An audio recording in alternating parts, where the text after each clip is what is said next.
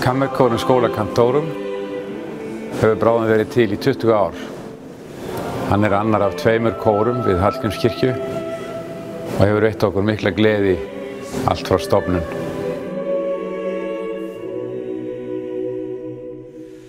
Hann samanstendur af 16 til 20 söngurum sem allir eru atvinnumenn í tónlist, lærðir söngvarar, tónlistakennarar og það sem skemmtilegt er, tónskáld.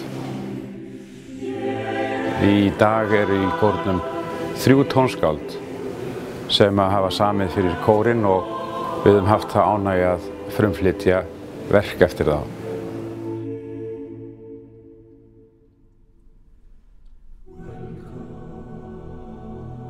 Hann gefur einstaklega mikið. Þetta er náttúrulega landstektur kór og síðan ég hef byrjað hérna fyrst mér ég hafa vaksið sem tónlistamæður.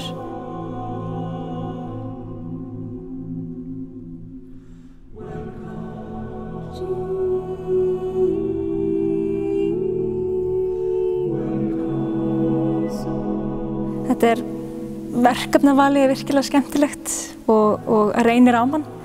Svo er félagskapurinn líka frábær og við reynum að mynda einhverja dýnamík og reyna að ná til fólksins og ég vona að við getum gefið það sama til hinna sem hlusta á okkur.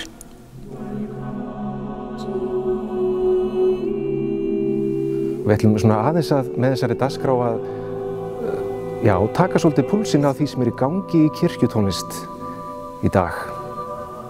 Og það er James Macmillan, það er Arvo Pärt og Tafinir og þessi svona holy minimalism stíl, svo sem við segja.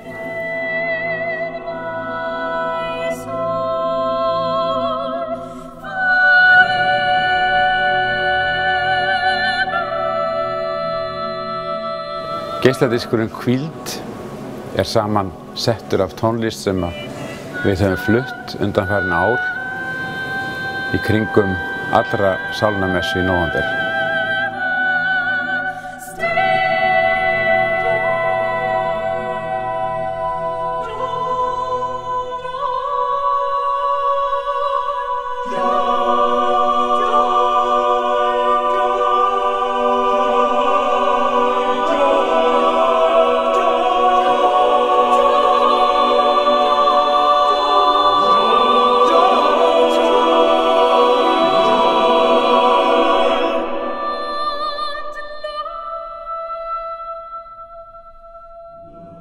Það eru þrjú, allavega þrjú núndímíti stykki sem að koma fyrir þessari dagskrá og ég á eitt af þeim.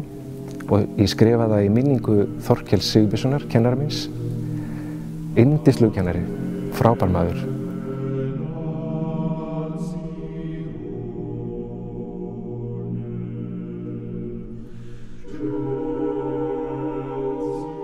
Og það er svolítið þemað með öllum þessum disk, það er þessi texti não te metas.